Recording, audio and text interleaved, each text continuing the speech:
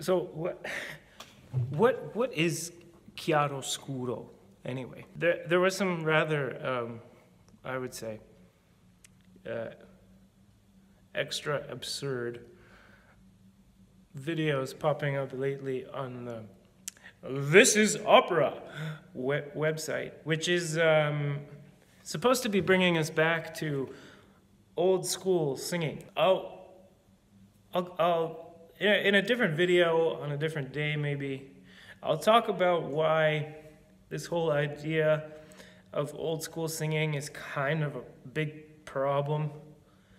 Um, because it's, it's trying to look for something that doesn't exist.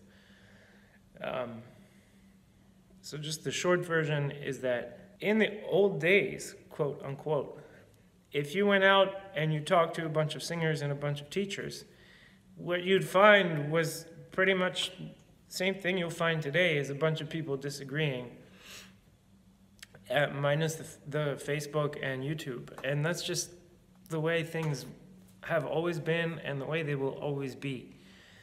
So if you have this idea that there was a time like long ago when, or a place, you know, I went to Italy and I learned how to do the appoggio. Like, come on. This, like, people were arguing about this shit like 100 years ago, 200 years ago. It's always been that way. It always will be that way.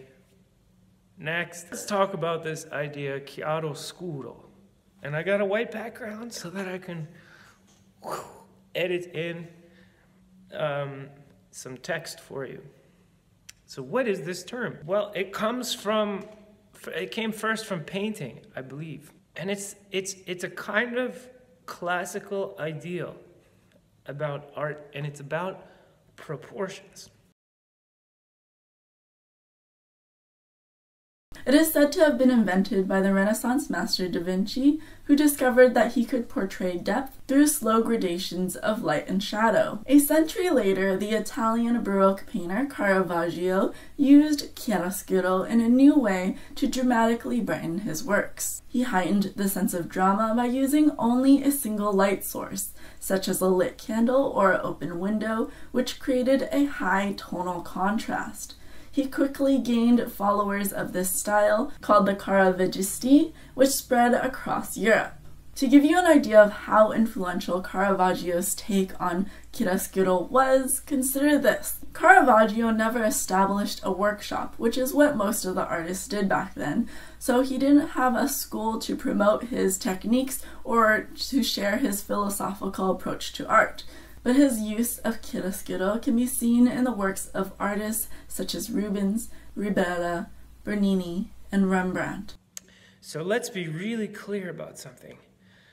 The, a recent video said uh, dark was the sound of birds chirping, and chiaroscuro was the sound of cows mooing and I, I didn't i never got to bright because i was laughing so hard i broke everything in my house.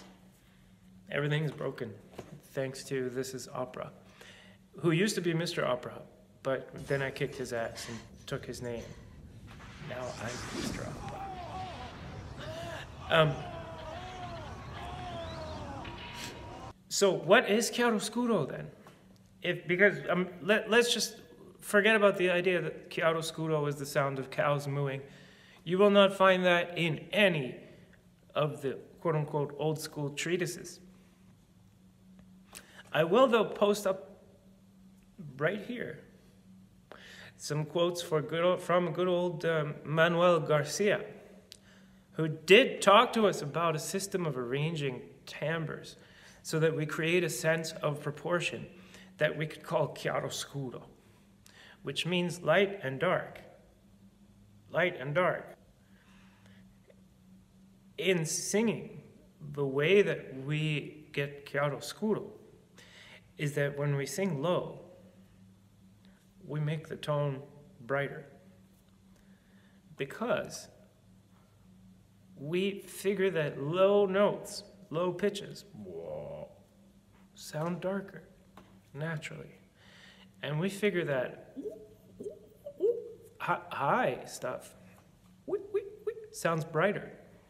And the stuff in the middle sounds like something in the middle. And it does not mean taking one timbre, one tone, and plastering it all over everything. That's not chiaroscuro because that's not any kind of arrangement of anything.